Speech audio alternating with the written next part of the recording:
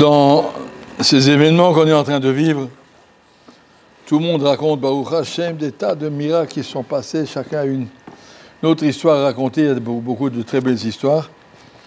Le problème de tous ces miracles, c'est que ça doit laisser une empreinte. La guerre va se terminer et Khalila, tout peut s'oublier. On a un exemple dans la paracha de cette semaine. Très intéressant. Abraham Avinu est parti faire la guerre contre les quatre rois. Et le roi de Sdom et ses collègues, toute une bande de rois comme ça, ils s'étaient fait vaincre dans une bataille par ces quatre rois, ils sont enfuis. Ils sont enfuis dans une vallée, je lis dans le chapitre 14 de l'Echlecha. Dans cette vallée, il y avait des puits où on puisait de l'argile pour construire. Donc ils sont tombés, nous, ils sont tombés dans les sables mouvants, tombent, au fond d'un puits d'argile, on peut plus en sortir. S'enfonce de plus en plus. Qu'est-ce qu'il y a eu? Abraham a poursuivi ses quatre rois, pour lire tous les détails, et donc il revient avec tout le butin bah, il a rouge. Il a ramené tout le butin, tous les prisonniers. l'autre arrive au rouge Il a ramené aussi l'autre qui avait été prisonnier. Ametanashim et Am. Bah, le roi de Sdom est sorti à la rencontre d'Abraham. D'où il est sorti? Il est sorti de son puits. Omer Rashi. Midrash Agada. Haya Atit Mugbal Bahem. Il y avait dans ce Mugbal dans ces, puits de la boue déjà bien molle. Le roi de Sdom a eu un miracle. Chez Yatsa Misham, qu'il en est sorti vivant. Le fils Jayoub Baoumot Mixatam, chez Layoum Aminim, chez Yisrael Avram et Kazdim. Parce qu'il y a des goïms qui disaient c'est pas possible qu'Avram a été jeté dans le feu qu'il est sorti vivant, ça n'existe pas. Alors ils ont contesté, ça n'existe pas des miracles. Mais quand le roi de Sdom, qui était un roi des Rechaïm, puisqu'on va voir la la semaine prochaine, toute la ville de Sdom va être détruite tellement qu'ils étaient des, des, pourris et des malhonnêtes. En tout cas, ce roi de Sdom a été sorti par Abraham.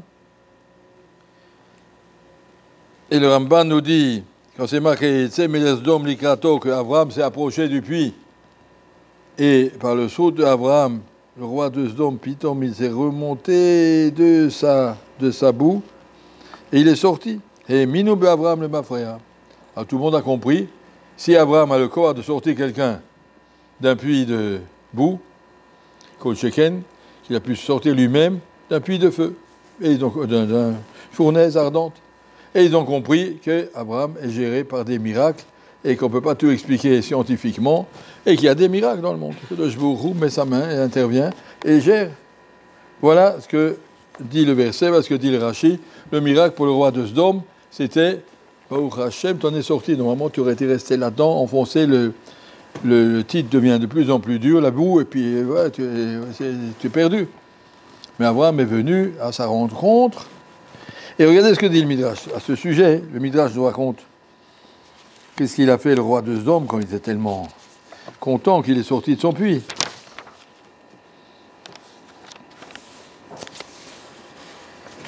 Une seconde.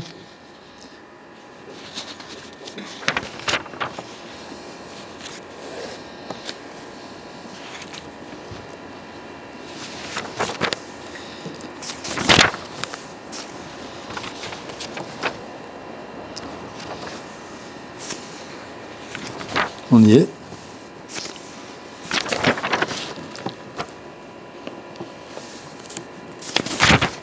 Ça y est, j'y suis. Il y a marqué Vayetse Melech Rabbi Abba Barkana, Midrash 40, chapitre 43, paragraphe 5. Rabbi Abba Barkana Omer, Hitril le Kashkeshlo Biznavo. Le roi de Zdom, il balançait sa queue. Comme un petit chien qui balance sa queue. Amar venit salta, yarati le venit salti. Il a dit devant Abraham, toi tu as vu? Il t'a fait des miracles, t'a sorti du feu, mais moi aussi, même beaucoup, il m'a sorti de, la boue. Et, voilà, toi, tu as des miracles, moi aussi, j'ai des miracles.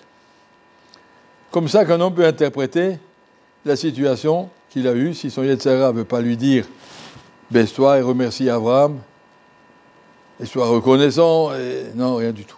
C'est moi. Je suis sorti par, mon mérite, par mes miracles. Comme ça, on fait. Monsieur, il voit, honnêtement, il voit des choses. Et non, il me cache-cache, je me dis, comme un petit chien qui secoue sa queue, comme ça, il dit, il se vante, voilà, il se vante, voilà, il vante toi. On peut interpréter des miracles comme on veut, on peut les tourner, et puis il reste rien, il reste rien tout ça. Au lieu que ça sorte une émouna, comme il dit Rachid, c'était fait pour enseigner à toute l'humanité. Regardez, Hachem a fait des miracles. Hachem est présent. Et l'autre dit Non, mais c'est mon mérite, c'est moi, c'est mes dieux, c'est mes idoles, c'est mes trucs. Et il est reparti à Sdom, et puis toute la ville de Sdom a été détruite. C'est pas possible. En tout cas, voilà une réaction. Maintenant, je vais raconter une histoire que le magistrat de j'ai raconté qu'une fois, il a pris un taxi, le chauffeur de taxi a dit Je vois que vous êtes un rabbin, je vais vous raconter une histoire. Quand on a terminé l'armée, vous savez, tous les Israéliens, ils font trois ans d'armée, et après, ils ont un minag. On va faire six mois de promenade à travers le monde. En trois ans, on a travaillé jour et nuit, très dur, on s'est mis en danger. Après, ils font un massa, ça s'appelle une grosse balade mondiale. Il y en a qui vont dans les Andes, il y en a qui vont dans l'Himalaya, il y en a qui vont en Afrique, ils vont partout. Ils veulent tout voir. Ils se sont retrouvés en Inde, un groupe ils étaient en Inde, on était rentrés dans les forêts, là-bas, la forêt vierge. Et puis, il y a un petit auberge.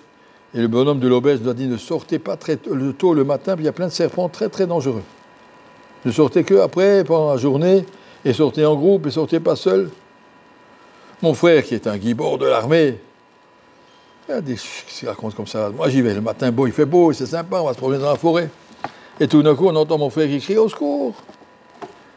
On est tous allés voir tout le groupe des soldats, on était des amis.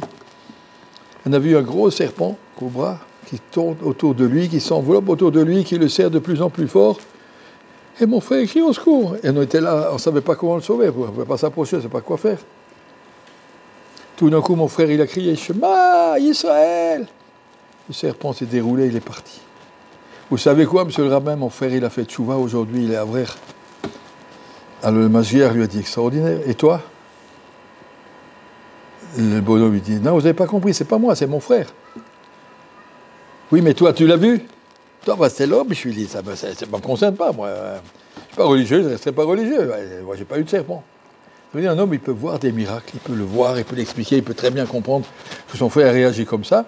Ce ne laissera pas, laissera pas prendre des conclusions. Tu as vu des miracles et tu restes comme tu étais. C'est ce qu'il faut faire attention maintenant, Bézat Hachem.